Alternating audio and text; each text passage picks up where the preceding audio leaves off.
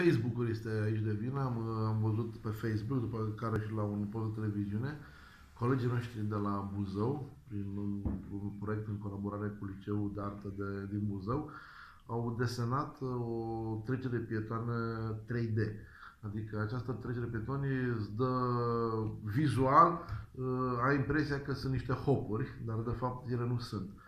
Uh, acest lucru am înțeles că s-a mai uh, și a funcționat în Islanda și în alte țări.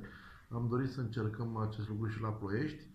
Uh, săptămâna viitoare sau pe două săptămâni când va avea loc comisia de circulație, o vom propune și vom căuta și o locație, maxim două, ca să vedem dacă într-adevăr sunt, sunt bune și eu zic eu poate mai ieftine.